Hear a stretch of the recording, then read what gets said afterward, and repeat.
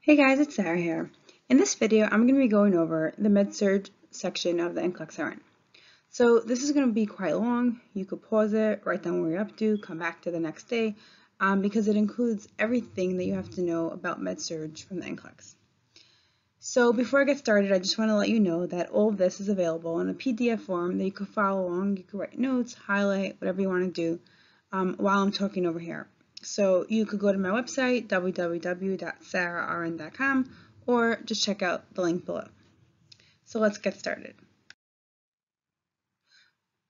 Okay, so first we're going to start off with fluids and electrolyte disorders. So over here, um, I made a chart. I compare and contrast DI versus SIADH. So DI is diabetes insipidus, and SIADH is symptom of inappropriate antidiuretic hormone. So what's happening is, is that in DI there's too little of antidiuretic hormone and in SIADH is too much of that. So you have to know what the ADH hormone does in order to know how that affects the body. So basically, um, the antidiuretic hormone, which is ADH, it promotes water reabsorption in the kidneys. So if you're going to have too little of it, it's not going to promote the water to re be reabsorbed and it's just going to be peed out. If you have too much of it, it's just going to retain a lot. So the way I like to remember this is DI, so it's basically dehydration. It starts with a D, D and D, because you're peeing all the water out. The SIADH, I think of overhydration over here because it's just so many letters, over, SIADH. So DI, just think DD, dehydration, peeing stuff out. SIADH, you're retaining, so you're overhydrating. So the symptoms are going to be the same symptoms as you losing water, dehydration, and retaining water. The treatment for that, um, how I like to remember it is, it also has to do with D. So for diabetes insipidus, the treatment is desmopressin, which is a D. And then for SIADH, since they're retaining fluid, you don't want them to have more fluid, and give them hypertonic solution, which will help get out the fluid. Okay, so next we go on to other fluids and electrolyte disorder. So dehydration, we all know what dehydration means. Um, one of the main signs of dehydration is when you have poor skin turgor. So you're going to pinch the skin and then let it go and you're going to see if it goes down quickly. Um, another sign is dry mucous membranes. So you can open their mouth and see if it's dry in there, tachycardic, um, they're because they're compensating hypotension, weak, lethargic, etc. The treatment for dehydration is rehydration, so you're going to give them back the water. Um, obviously, you want to give them oral first if they need. They're really dehydrated, you could do IV, but you're going to start with oral. And maintain the fluids at an electrolyte imbalance because a lot of times they lose electrolytes and that could cause low sodium, low potassium, etc. Okay, on the other extreme is water intoxication. So when you have too much, water in the body and just remember water and salt. So if you have too much water, then the salt is going to be diluted. So if you have too much water, you have hyponatremia, too little salt. So that's going to cause symptoms like irritability, lethargy, seizures could even happen, um, and that's what you want to watch out for. The next thing is third spacing. So third spacing is basically when the fluid goes from the blood into a place where it cannot be used. So it leads to less fluid that's circulating around the body, but they have a lot of fluid, it just can't be used. So they're still going to be hypotensive, tachycardic, the same symptoms. And this could happen after like abdominal surgery and stuff like that. I just realized I skipped I skipped the diarrhea, so I'm just going to go back to this over here. So diarrhea, um, don't really give them any medications for it. it. Usually lasts less than 48 hours. If it lasts more than 48 hours and it has a fever or blood, then you want them to go to the ER or the doctor.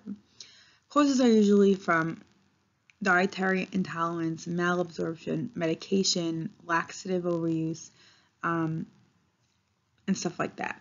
Treatment, you want them to eat bulk forming foods, so rice, bread, stuff like that, and rest, fluids, and if you need to, loperamide, which is the medication used for diarrhea. As always, if you see over here, I wrote watch for electrolyte imbalance because the main thing you want to watch out for when you're talking about fluid and electrolyte disorders are electrolyte imbalances.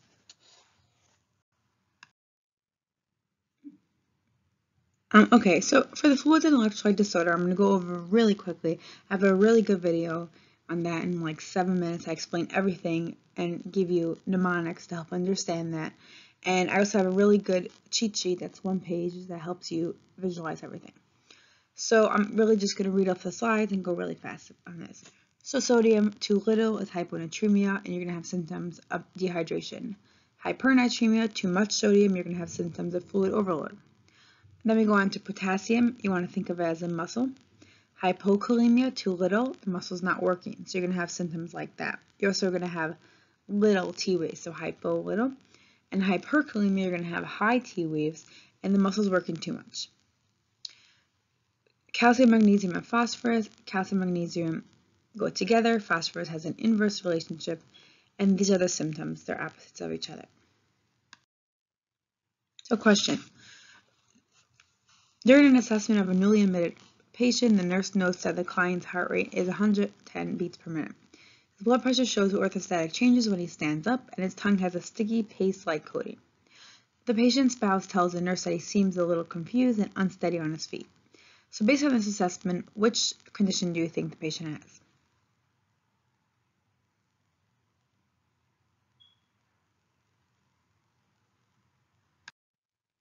So the answer is going to be A, because when someone is dehydrated, the heart rate's going to increase, so they're going to be tachycardic. But the blood pressure is going to reflect orthostatic changes because of the reduced volume. And when they stand, they could get very dizzy. Um, they could also get altered mental status, and like I said, the mucous membranes are going to be dry and covered with like thick pasty coating if you ever saw someone who's like really dehydrated. Um, okay, so now we go on to glucose. So we're going to go on to hypoglycemia and hyperglycemia. Hypoglycemia is when the blood sugar is too low. Causes of that is someone not eating because the sugar in our food. Causes of that are too much medication, too much insulin, and alcohol. Symptoms they're going to have is hunger, confusion, headache, sweating, slurred speech, and irritability treatment, what you're going to give them, you're going to give them glucose. So if they're alert and awake, you're going to give them oral glucose. So let's just say oranges. Oranges has a lot of sugar in them. You give to them, you drink that, they could feel better. If they're unconscious from it, then you give them gl glucagon IM. It's a intramuscular injection. And obviously, you always want to recheck their blood sugar. Um, then we go into hyperglycemia, too much sugar. So too much sugar is caused by too much food, too much um, too little insulin, too little exercising, basically, you know, like diabetic. Um, symptoms are going to have our same symptoms as diabetes, excessive thirst, excessive urination, hunger, confusion, headache, fatigue, and blurred vision. What you want to do for them for treatment is going to be insulin to lower the blood sugar, medications, um, like metformin. You want them to control their diet and exercise. Okay, burns. So with burns, we're worried about the ABCs, the airway, breathing, circulation. We're worried about their pain. We're worried about the risk for infection because it's open and removing the eschar. With burns, what you should know is that there's a huge fluid shift. So they're hypovolemic is the number one thing you should be concerned besides for the airway breathing. Hypovolemic shock is the most common complication of burns. How we replace that is that we give lactated ringer to them. And the way you know that they're being replenished correctly is by the urine output. So someone with burns is quite critical that you monitor the urine output and you see that they're having a normal urine output. So that means that enough fluid is in them to come out. Also, because it's a big surface area that's exposed, they lose a lot of heat. So you want to keep that in mind. And like I said over here, the key is the fluids. So question, what's the best indicator that the fluid resuscitation has been corrected? And their answer is urine output. It should be at least 30 milliliters per hour. And remember that number. Um, okay, so we just talked about that fluids are key for burns. Now, how do you know how much to give? You don't want to overload them, you don't want to underload them. and that's why you're going to use these formulas. This I would just commit to memory. You're going to have to know this for the NCLEX, and there's really no other way to know it but memorize it. The Parkland formula is a formula used to figure out how much fluid to give. The formula is as follows, like over here. It says 4 milliliters per kilogram per total body surface area. Whatever the number is, let's just say you get a 1,000 for the number. You're going to divide it by half. Half of it is going to be given over the first 8 hours, and the other half is going to be given over the remaining 16 hours. The only thing is that you want to watch out for is the question, because the question could ask you what's given over the first 8 hours or what's the total amount given. So you want to keep in mind the question and answer accordingly. Now how do you know, so we know 4, we know how much they weigh, which is the kilograms, or the pounds divided by 2.2. And how do we know the total body surface area? That's where we use the rule of nines. The rule of nines is as follows. If you look over here at this person, it's showing you the percent per area that they burn.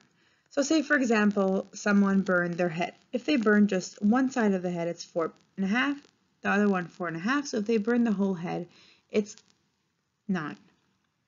The same thing goes for, you know, the legs. Each leg is 9. So if they burn the whole left leg, then so 9 plus 9, that's 18. The whole right leg, 9 plus 9, that's 18. If they burn both of theirs, then you want to you want to add them. So in the question that they're going to give you, they're going to give you an example and they're going to tell you how much the patient weighs, and they're also going to tell you um, what the patient burned. So the patient burned the hands, the right hand, the right leg. They're going to tell you what the patient learned, burned. You're going to you're going to add that all together and you're going to plug it into this equation right here. And then whatever that number is divided by half, the first half is given over 8 hours, the last is given over 16 hours. It's a little confusing, but that's how it works. Okay, question. A 36-year-old patient comes in with a burn covering the anterior side of her right arm and the anterior side of her chest. What percentage of the body is injured? So over here, if you notice, it's asking you just what percentage of the body is injured. It's not asking you to calculate the Parkland formula because it's not asking you how much fluid they're getting. The answer is 13.5. If you refer back to that picture, you'll see the anterior side of his arm is 4.5 and the anterior side of his chest is 9%. So that gives you 13.5. Now, if they ask you how much fluid the patient needs, you take that number, you times it by 4, times it by the amount of kilograms they are, and that's your number. The first half of that number is over 8 hours, the last half is over 16 hours. Okay, so now we go on to cardiac, the cardiac system. So the DASH diet is a commonly used diet used to control hypertension, you know, low salt. Anyone with cardiac problems, you want a low salt diet, low fat diet, low saturation, etc. Then we go on to a stress test. What a stress test is, is that it uses medications or a treadmill or something to produce vasodilation of the coronary arteries in someone who you suspect coronary heart disease. They give them a dye or something, you're not supposed to eat or drink before the test, no caffeine, no nothing, and then they basically want to measure um, to evaluate the blood flow to the heart. A Holter monitor is something that measure and record the heart rate and rhythm over a period of time. It's continuous and it keeps recording it for around 24 to 48 hours the patient, you want them to keep a diary of their activities and their symptoms so you could correlate it to the findings. And next we go into femoral popliteal bypass surgery. So what that is, is basically it's circumventing a blockage in the femoral artery with like um, a stent to open it up and restore the blood flow. So you always want to make sure to do a neurovascular assessment.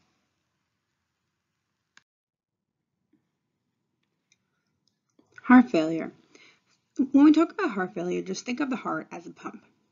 So if you have a hose, right, and you put your hands in front of the hose, or even just like a finger or two in front of the hose, then less will come out and more will be backed up in the hose. So the same thing like the heart. The heart is a pump that is supposed to pump out blood. And when it's not functioning as it should, so the heart fails, um, it can't squeeze as much, whatever the cause is, not enough is going to come out, and a lot's going to get backed up. So that's exactly what happens in heart failure. You have the right and the left heart failure.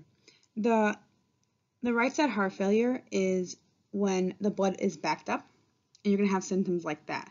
So if you have a lot of fluid or blood in you, think of signs like edema, weight gain, um, an extra heartbeat that you're hearing the fluid.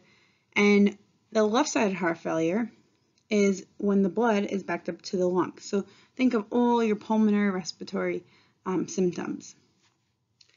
The, the treatment for heart failure is like number one, you want to get rid of the fluid. So you're going to have a diuretic. They should not take NSAIDs because it could cause sodium retention, which you don't want them to retain even more fluid. You should have them not eating salt in their diet because that, like I just said, retains fluid. And um, you want to weigh them daily because if they have more than three pounds in a day, then that means that they're retaining, and that's and you want to treat that. Um, then we go on to hypertensive crisis. Hypertensive crisis is systolic blood pressure more than 180 and a diastolic blood pressure more than 120 with evidence of organ damage. So organ damage like kidney damage, eye, heart failure, hemorrhagic stroke. Basically, for this, I would just really know the symptom. Just know what the symptoms are that, and then you, and then you want to think hypertensive crisis. So number one, a headache. Someone comes in with a headache with a blood pressure of over 180, over 120, then you want to think hypertensive crisis. And what you want to know in hypertensive crisis, so you have to lower the blood pressure, but you don't want to just bam it down because that could cause a lot of side effects. So you want to slowly decrease it. Um, and that's it, pretty much you have to know for that. Okay, next we go on to aortic dissection. So that is, that it's a tear in the inner lining of the aorta. So the blood comes out, weakens the aorta wall, and it causes less perfusion to your vital organs, basically. Causes from that, the main cause is hypertensive, hypertensive could really cause that. So the symptoms you should know that they're going to have is acute onset of really sharp, ripping chest pain, they call it, and it radiates to the back. They'll also have difference in blood pressures between the two arms, and this is an emergency. They need to go for surgery right away. Um, the next one we have is aortic stenosis. So stenosis is basically narrowing, so it's narrowing of the aortic valve. What you want to know over here is that you're going to have a loud systolic ejection murmur. That's going to be like the key word that the NCLEX will say, and you want to think aortic stenosis. Um, it's usually asymptomatic, so that's really the only symptom that you should know. Okay, next we go on to pacemaker. So a pacemaker is basically a small device, like you see in the picture over here, um, that is placed in the chest to control the abnormal heart rhythm, which is usually for like someone who's really bradycardic. What you want to do as a nurse is that you want to report signs of fever, redness, swelling, or drainage at the site because that can mean infection and needs to come out. You should know that the patient's going to have like a metal bracelet that's going to let you know that they have a pacemaker. And um, no MRI for them. You want to hold phones like, oh, like the airport um, security, you know, tell the airport they have a pacemaker, etc. Um, what you should know is that microwave ovens are safe for them, and um, you want to assess for the capture of the heart rate. Next, we go on to ICD. So ICD is implantable cardiovert defibrillator. So this is a small device that senses and defibs only life-threatening dysrhythmias. So the difference between a pacemaker and an ICD is that, that the pacemaker is to control abnormal heart rates like bradycardic, and the ICD will only fire if there's a deadly arrhythmia. So um, it's a little bigger. It prevents a person from dying, like I just said, from like VFib, that's a deadly arrhythmia. And that's pretty much what you have to know for that. Um, okay, so then we go on to defibrillator. You should know when you use a defibrillator. The only rhythm that you're going to be using a defibrillator is for VFib and pulseless VTach. So they like trick you and say, what if they're asystole? there's no rhythm, so you can't shock them back. If they're asystole, you don't It's only CPR, only. The only time that you're going to have a defibrillator is for VFib and pulseless VTach. That's what you should know. You want to begin with 200 joules, and of course, the patient has to be unconscious. I hope you know that. but um, yeah, so basically, I'll, sell, I'll tell you really quick how it's going to work. You place the pads. You see the pads over here. You literally just follow the instructions exactly how the pad says, exactly where it goes. It's You want to charge it. It's going to say all clear. You want everyone to move away. No one should be touching the patient. And press the button. It's going to give a shock. You're going to begin CPR right away as soon as it's finished, and um, it's really only used for emergencies. Okay, and then cardioversion. So cardioversion is, it only delivers the shock on the R wave. So that's the QRS complex, you know. It's only going to deliver the shock on the R wave. And it's used for supraventricular tachycardia and AFib. And that's pretty much you have to know for that. Okay, now we go on to CABG. So CABG stands for coronary artery bypass grafting. This is a surgery. It's done to restore blood flow to the heart due to blockage in the coronary artery. It's basically they take blood vessels from an area in the body and then it bypasses the damaged artery and then the person has restored blood flow. When they get discharged, you want to tell them the regular cardiac discharge, no smoking, lose weight, health exercises, etc. Post-op, they could do very light housework for two weeks, but they really should not be lifting any more than um, like five pounds.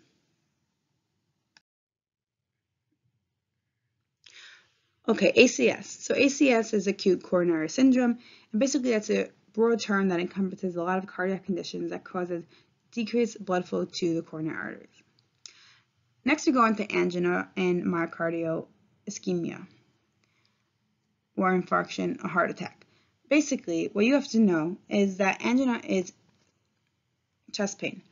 Stable means that the person gets it and then it stops when they rest. So as soon as they sit down, they don't have chest pain anymore. Unstable angina is that as soon as, even if they're sitting down, they are still going to feel the chest pain. Both of these types, stable and unstable, both could be reversed. So as soon as you restore the blood flow, then the heart is continuing as it should.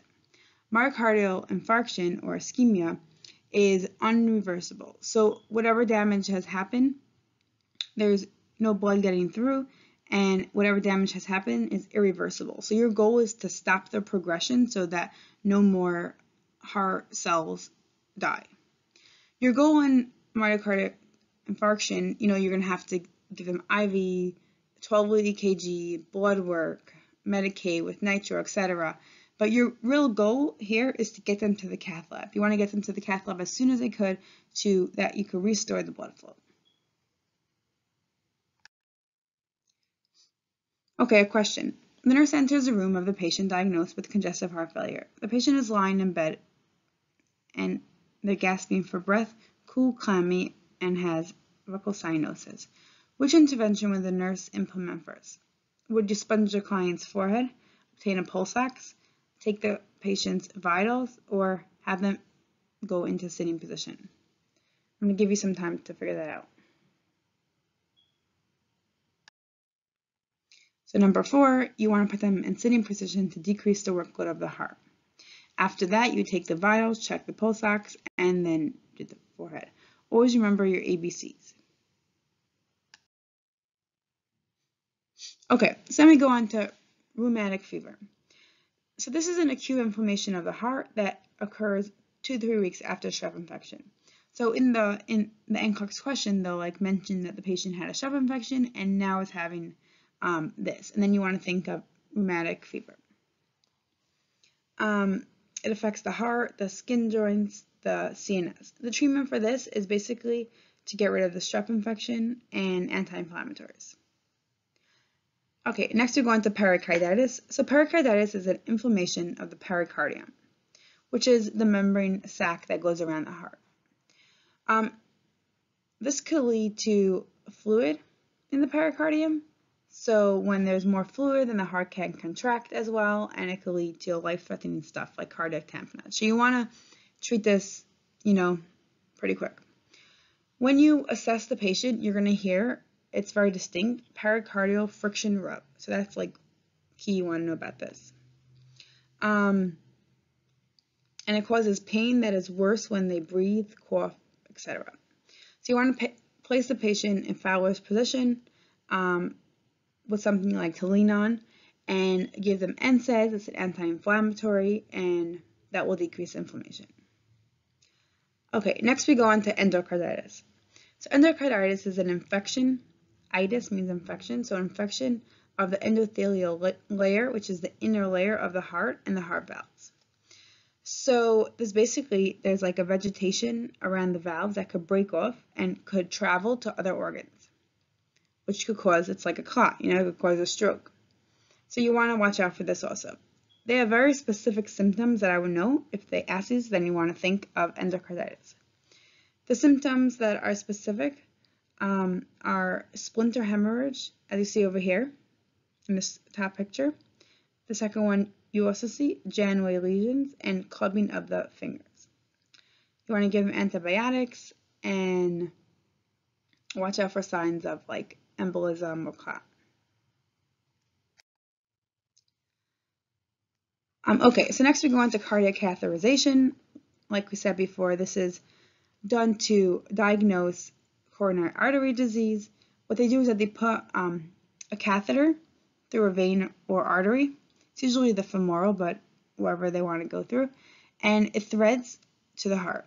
Then they put a dye through that and they could see the obstruction. If the obstruction is more than a certain percent, I think it's like 70%, then they put a stent through that to open up so that the blood could go through.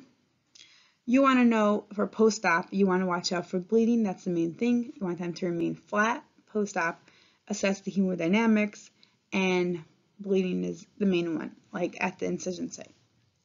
You also want to report any back or flank pain, tachycardic or hypotension, because that could mean that there's bleeding in the retroperitoneal.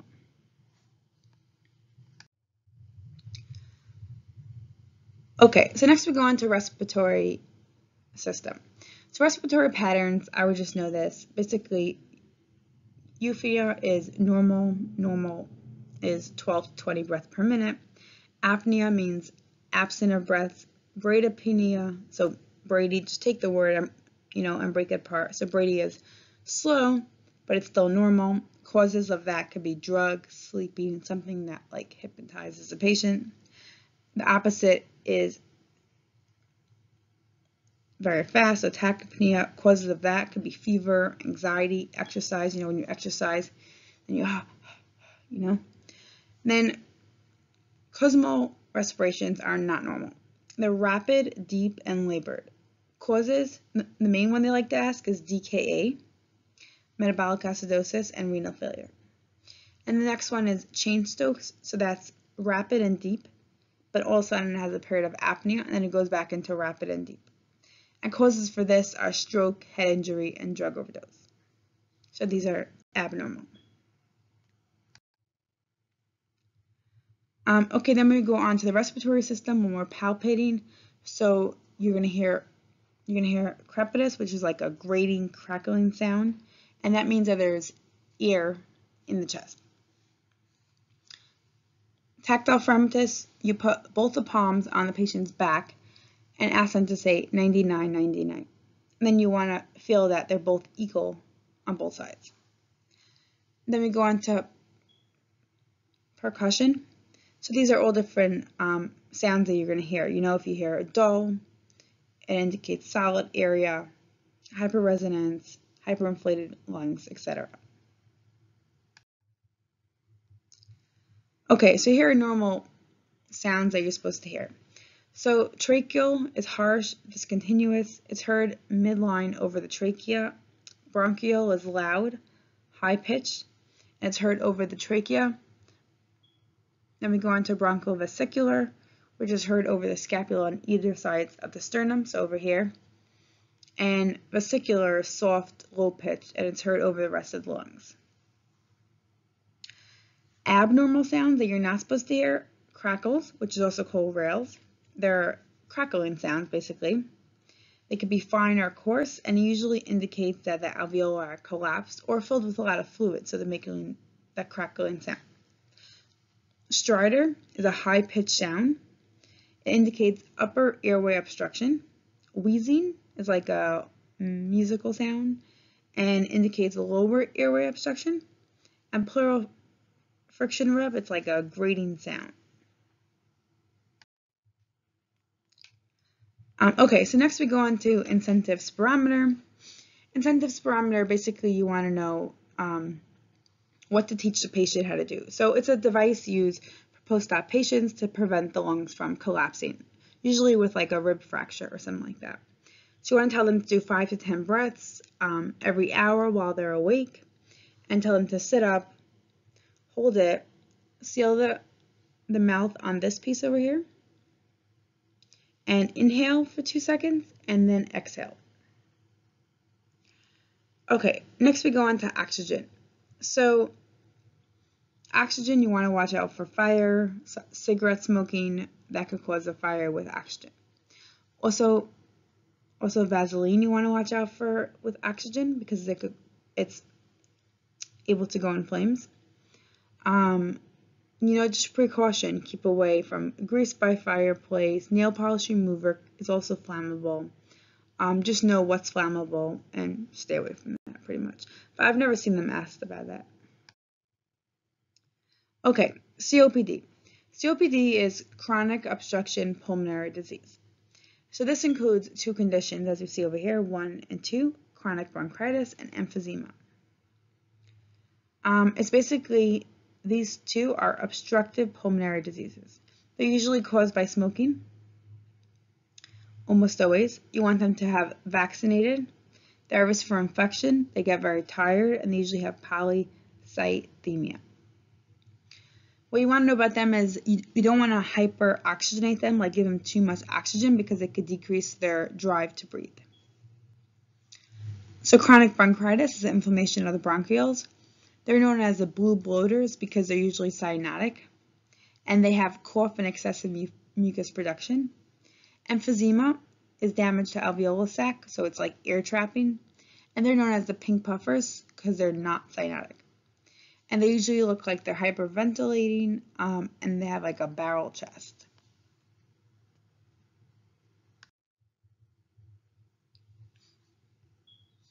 Okay, aspiration pneumonia. So aspiration pneumonia is when aspirated stuff like food or something, you aspirate in it and it causes an inflammatory response and then bacteria grows. So risk factors are someone who's demented, um, difficulty swallowing. What you want to do is you want to make sure this doesn't happen. So elevate the head of the bed, help them swallow, like go like that, you know, etc. Okay, acute respiratory failure. So this is when there's damage to the alveoli, causing the alveoli to collapse, and then when that happens, the fluid leaks in. The lungs cannot oxygenate, oxygenate then, and then the carbon dioxide builds up in the body and the oxygen can't get in. So they're gonna, so this is acute respiratory failure. So they're gonna have mental status changes, refractory hypoxemia, acid base imbalances, um, hypoxia, dyspnea, like all those symptoms.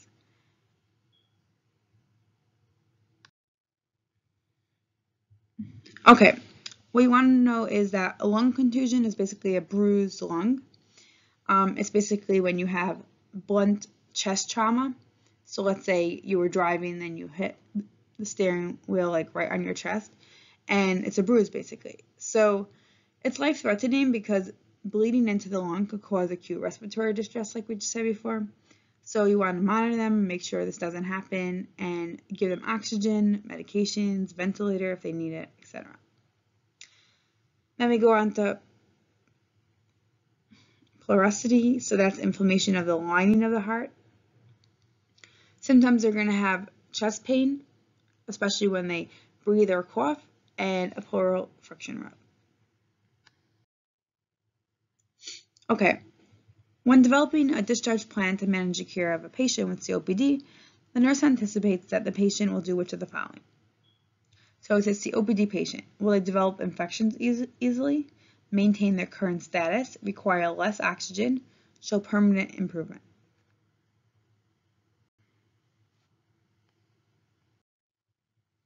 So like we said before, they're at risk for infections.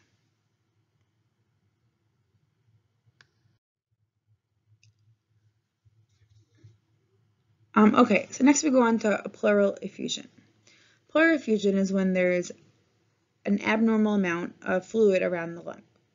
You're going to have a chest x-ray or a CAT scan that's going to show you that.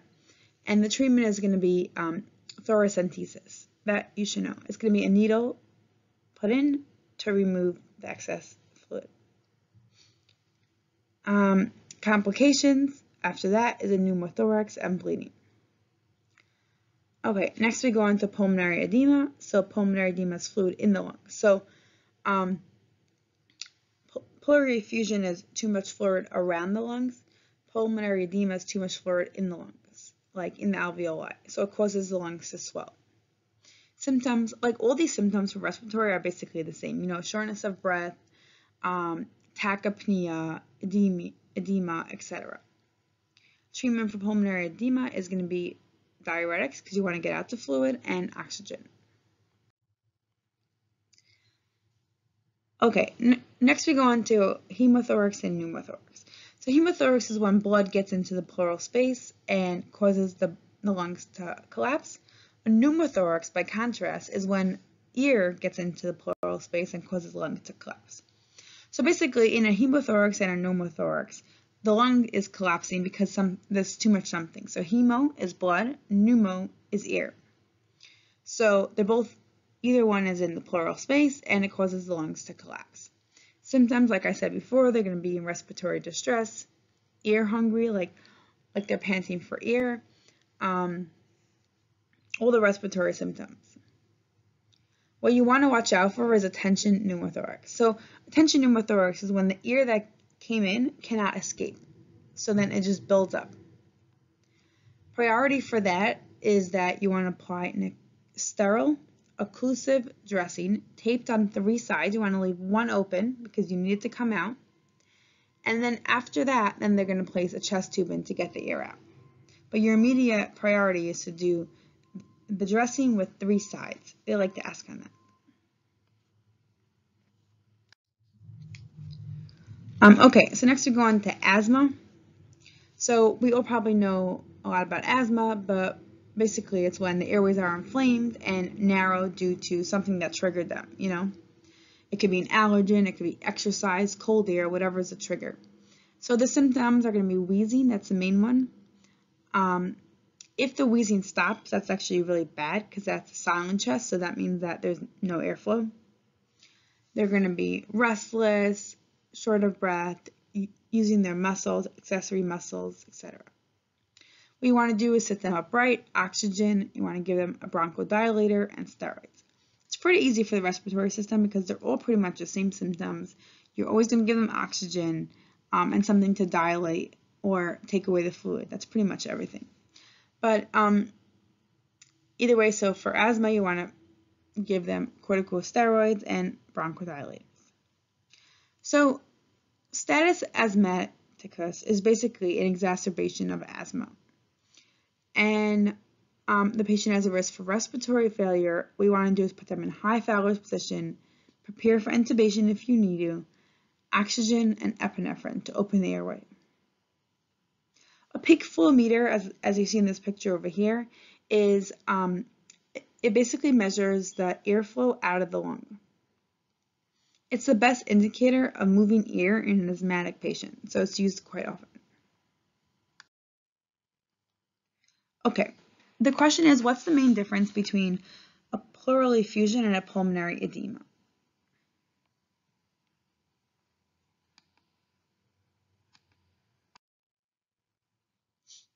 Okay, so like I said before, a pleural effusion is fluoral, uh, fluid around the lung, while pulmonary edema is fluid in the lung.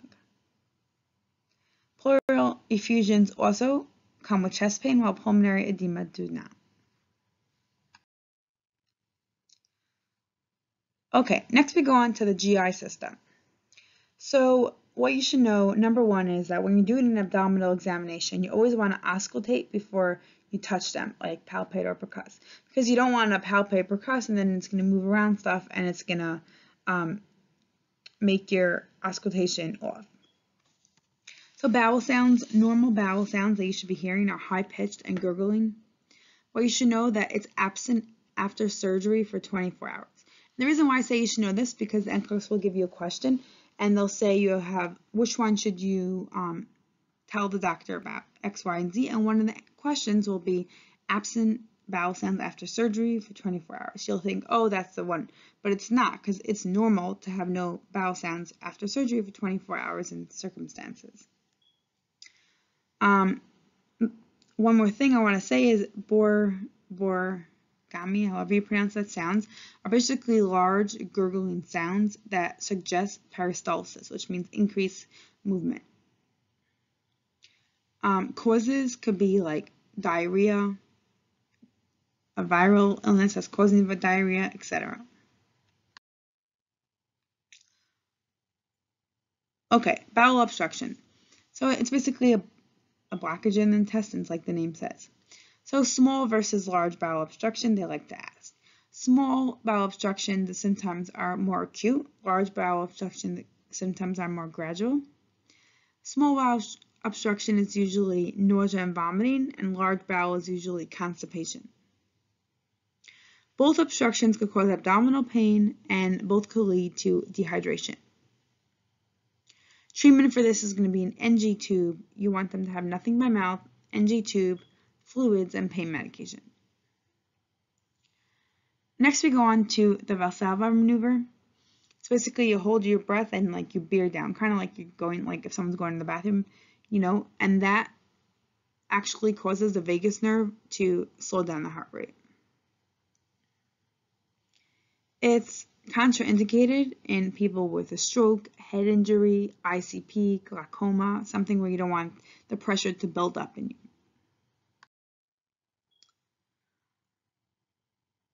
Okay, so next we go on to the hernias. Hiatal hernia is when a part of the stomach pushes through the diaphragm.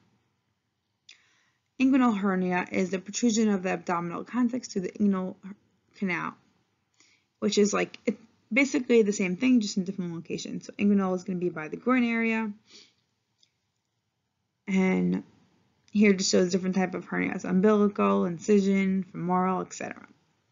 You want to teach a patient to not do stuff that are going to make it worse or come out, like lifting weights, um, something, coughing, something that can increase the pressure in the abdomen. Treatment is going to be minimal invasive surgery. A lot of times they're not treated also. Um, okay, next we go on to a small bowel follow through. So this is basically something to examine the anatomy and, function of the small intestines and uses x-ray waves. What you should know is that it's normal to have chalky stool till 72 hours post-op. So then again, don't click that answer as something that's abnormal when it's normal for somebody who just had a small bowel follow through. Okay, next we go on to a barium enema. It's also an x-ray done to visualize the colon to see like polyps, tumors, diverticula, etc.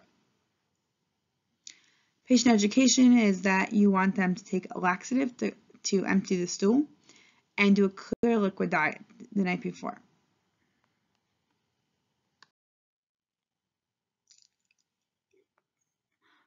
Um, okay, so what's an ostomy? An ostomy is basically a surgical opening on the surface of the stomach that allows the stool to leave the body.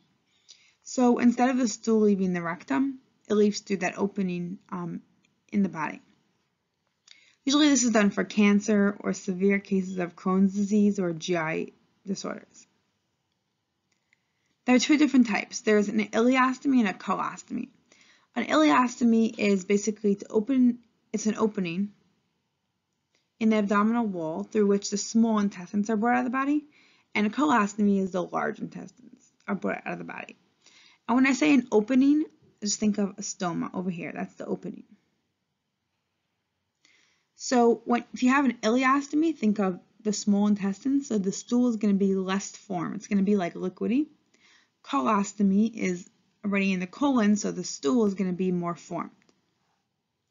And as you get much closer to the rectum, it's going to be more formed.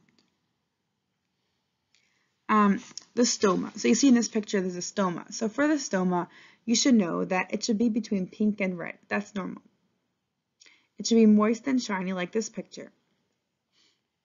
And if there's anything else, then you want to report that. You want to have patient education. So first of all, you want to tell them that they should empty the bag when it's a third full to prevent leaks. You should tell them no um, sustained release or enteric coating medications for this patient. Right after, so post-op right after the surgery, they should have a low fiber diet. And then when the ileostomy heals itself, then they'll have a regular high fiber diet. They should avoid foods that are not completely digested, like popcorn, um, stringy vegetables like celery, seeds like strawberry, etc. And they should avoid gas and odor foods like broccoli, cauliflower. Okay. Okay, so next we go on to colonoscopy. This is a procedure where they take a scope and they basically look inside the rectum and the colon. You, the only thing you really have to know for this is the patient education. You want to let them know that they have to have a clear liquid diet the day before and nothing in their mouth 8 to 12 hours before that. The day before the exam, you're going to give them like a bowel cleansing thing, like an enema, or um, usually they just do um, polyethyl glycol. They have to drink the whole thing, and then they kind of just keep going until they're completely clean for the next day. The next one is a bronchoscopy. Just know for that that, that it's an endoscope that's used to visualize the larynx, the trachea, the bronchi. Um, after post-op, you would just want to monitor for respiratory distress because that's where it went. The next one is PEG tube. Just know that that's an invasive procedure under conscious sedation that places a tube for feeding. Um, okay, so which of the following factors would most likely contribute to the development of a client's hiatal hernia? Number one, having a sedentary desk job, being 5 feet 3 inches tall, weighing, weighing 190, using laxative frequently, and being 40 years old.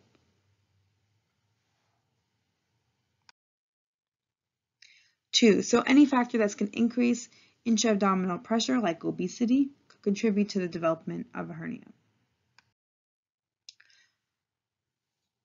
Okay, so now we go on to gastric lavage. That's basically done through a tube to remove toxin, any toxins, and to irrigate the stomach, like for instance by an overdose. It's not really done now, so I highly doubt they'll ask it, but just in case they do ask it, just know that it's done for that. Next we go on to an enema. An enema is like a little tube thing that's in, that's put into the rectum and you squirt it and it puts in the water in there. So it makes it, you know, when someone's constipated, it's very hard stool and kind of it either makes it more liquidy or it breaks it up and it's easier to pass for them to go to the bathroom. That's basically what you have to know for that. Then we go on to lactose intolerance. So what lactose intolerance means that the patient gets GI symptoms after eating milk products like um, gassy, bloating, cramping, etc. It's usually caused by missing enzymes of lactose. Treatment is going to be not eating lactose food, or they could replace the enzyme to decrease the symptoms and give them supplemental vitamin D and calcium. You should know that some foods, even though people think that they can't eat, but they really could be eaten. Like sometimes um, like foods that are aged cheese or a live culture yogurt have very little lactose in them, so they really could eat them. Okay, so Billroth 1.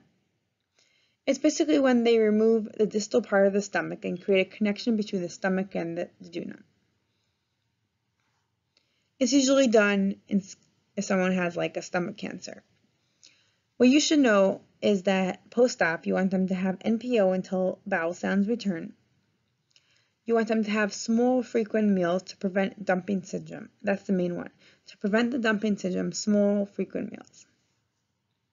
What dumping syndrome is that it's when the gastric complex empties way too quickly into the small intestines. and they have symptoms like hypotension, abdominal pain, nausea, vomiting, dizziness, tachycardia, etc. If dumping syndrome does occur, what you want to do is you want to have no fluid between meals, lie down after meals to slow the gastric emptying. So you would think that it's to sit up, but no, for, for dumping syndrome, it's lie down after meals. Um, okay, now we talk about bariatric surgery. So you just want to know for this is that post-op, the dumping syndrome you want to watch out for. You want to watch out for dehydration, fluid and electrolyte imbalances, and you want to watch out that you don't give them too much. So what I mean by that is that they usually have a reduced amount that their stomach can handle. So you don't want to be giving them like a whole meal after. Slowly work them up. So a little bit, then full liquid diet, and then solid, etc. Work them up slowly. Abdominoplasty, I just put out that word so you should know what it is. It's a tummy tuck. And refeeding syndrome. So refeeding syndrome is when someone is in a period of starvation and then all of a sudden you just give them like food. So their body goes into like a fluid and electrolyte um, shifts and it could cause real lethal, like even cardiac dysrhythmias. So what you want to do is you want to feed them slowly and not just, you know, here's a piece of chocolate and sugar after you didn't eat for a while. Okay, GERD. So what GERD is gastroesophageal reflux disease, which is also acid reflux, basically. We all know acid reflux is that when they eat too slowly, um, too fast, it could come back up and cause that heartburn. Interventions, you want them to lose weight, eat very slowly, eat smaller frequent meals instead of like huge large ones. Um, you give them medications like a proton pump inhibitor. You want them to avoid stuff like caffeine, alcohol, nicotine, high fatty fried food, etc. And they should not lay down immediately after eating. The next one we go on to is peritonitis. So peritonitis is itis, so it's an inflammation of the membrane lining the abdominal cavity. Symptoms are going to be fever, abdominal rigidity, guarding, rebound tenderness, and abdominal distension. You want to treat it according to the cause, it's usually like antibiotics or surgery.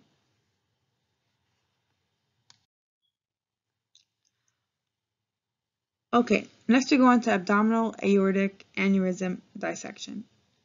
So this is when there's a weakened portion in the aorta, so it's like bulging out because it's weak, that runs through the abdomen, as you see over here.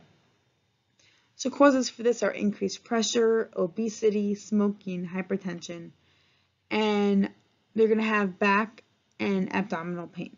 They could also have like signs of shock. What you want to do is you want to treat it according to the size. So you're either going to monitor them that doesn't grow bigger or surgery and of course lifestyle changes. Endovascular abdominal aortic aneurysm repair is EVAR. It's basically treatment for abdominal aortic aneurysm.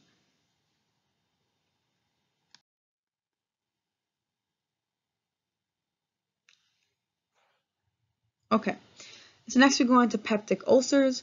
What peptic ulcer is that it's an open sore that develops in the inner lining of the stomach and the upper portion of the small intestines. As you see over here, it's an open sore. The problem is that the stomach is very acid, and so that could really burn and really hurt. Risk factors are H. pylori infection, chronic NSAIDs in use, stress, diet, lifestyle changes, etc. First of all, you want to tell the patients that NSAIDs are very damaging and they could cause peptic ulcer disease, so you want to stop them if they're on that.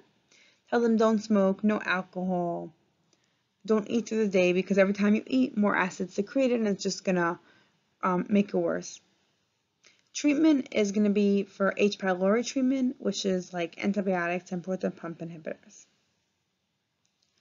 The next one is paralytic ileus, which is an obstruction of the intestines due to the paralyzed, so it's not really moving, of intestines muscles. Symptoms are going to have abdominal discomfort, distension, or abdominal symptoms, nausea, vomiting. What you want to do is you want to have them nothing by mouth, NG tube, and like medication to help them not vomit. Okay, next we go on to irritable bowel syndrome, IBS, which is basically chronic bowel discomfort, I would say. Um, it's called by it's caused by an altered intestinal mobility. There is no inflammation. That's the main difference. The main difference between IBS and IBD is that over here it's irritable bowel syndrome. It doesn't say inflammatory, so there's no inflammation. Symptoms you're going to see with that is mainly diarrhea and constipation. So they're going to have either one or the other one or both. Treatment is you want to reduce the, the diarrhea and constipation, um, manage them with diet, exercise, stress management. Okay, next we go on to IBD, so inflammatory bowel disease. So this, as the name says, it's an inflammatory condition. So it's basically an umbrella term for conditions that causes inflammation of the bladder. It includes stuff like Crohn's disease and ulcerative colitis. Symptoms are going to be chronic inflammation, bloody stool, anemia, elevated um, like ESR, which are inflammatory blood markers and stuff like that. Crohn's disease. So let's divide the them two under the inflammatory bowel disease. So ulcerative colitis. So ulcerative colitis is chronic inflammation. Like I said, it's an inflammatory disease. And also ulcers of the long intestines. Symptoms are going to have abdominal pain, cramping, frequent bouts of bloody severe diarrhea, weight loss, and anemia. You want to treat them with anti-inflammatories, antidiarrheals, lifestyle changes, like small, frequent meals, etc. The next one is Crohn's disease, and that's when it's an inflammation of the GI tract. It could occur anywhere in the GI tract. So ulcerative colitis, inflammation in the long intestine specifically, Crohn's disease, inflammation anywhere in the GI tract. Symptoms are going to be pretty much the same thing, abdominal pain, diarrhea, um, weight loss, malnutrition, etc.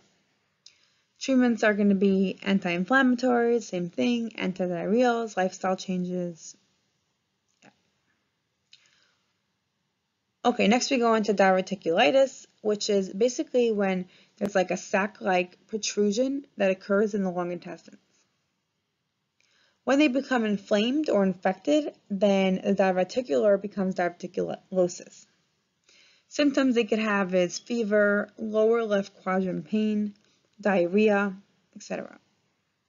Treatment for that is going to be, if they have an acute diverticulitis, then you want to have them on a low residual diet, so no fiber foods. But after their symptoms resolve and it's not acute, you want to have them in a high fiber diet to prevent this from happening. You don't want them to do anything that increases the abdominal pressure, like lifting, um, coughing,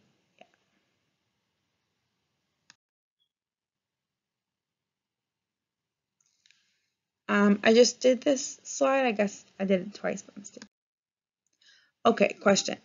So after instructing a patient with diverticulosis about appropriate self-care activities, which of the following patient's comments indicate effective teaching? Select all that apply. So this is really supposed to be on the next line. But number one, with careful attention to my diet, my diverticulitis could be cured. Two, Using a cathartic laxative weekly is okay to control bowel movement. Three, I should follow a diet that's high in fiber. Four, it's important for me to drink at least 2,000 ml of fluid. Five, I should exercise regularly. So this is a select all that applies, so it could be more than one.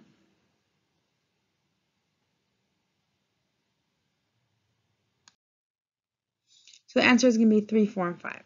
Whoever has diverticulosis, you want to tell them to maintain a high fiber diet, unless it's acute, but in general, high fiber diet. They should increase their fluids to help them go to the bathroom and have activities to help things going. You should know that it could be controlled, but it can never, never be cured. And you want to tell them to avoid using regular laxatives. Okay, so thank you very much for watching. That's the end of part one of the Med-Surg section. Stay tuned for part two. And also, if you want any of this in a PDF form, check out my website, www.sarahrn.com, or look in the description box below. And also, if you want any, um, if you want to follow me on Facebook, you can look at the description box below, and I post daily or every other day and NCLEX style questions for you to review. So please subscribe, like this video, and stay tuned for the next one. Bye.